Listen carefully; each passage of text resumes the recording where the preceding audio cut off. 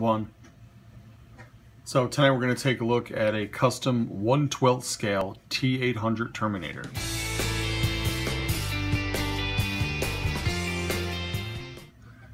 So I uh, picked up a T800 figure and I did not like the fact that um, all the clothes are sculpted on it. Having previously owned uh, the Hot Toys version at 1 6 scale, I wanted something that looked similar uh, at half the size. So I sent a, um, a Terminator figure. This was a uh, Sid Vicious figure that is downsized a little bit. And um, I added the T800 boots and left the WWE hands, T800 head, and um, Urban Rev Toys out of California made the pants, the t-shirt, and the jacket all from scratch. It's all handmade. The belt. The only thing I'm missing from this is um, his belt for his waist, which I had picked one up, but it was the buckle's way too big. I used it for a roadblock figure, but it looked kind of terrible on him. So I'm eventually going to get another belt, a leather belt, um, to go on him.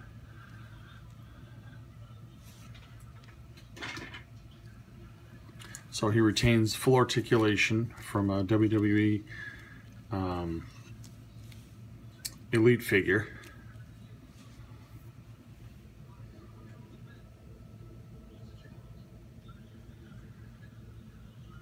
Super happy with the way the clothing turned out.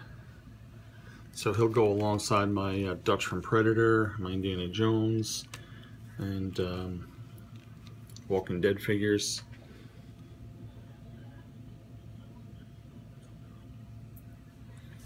I'll put um, the link to Urban Rev Toys in the uh, description. So if you wanted to contact them about getting some custom clothing made, you can do that. Uh, mostly does 118 scale, but he obviously can do 112 scale absolutely fine. Um, and I was really happy that he took on the project for me.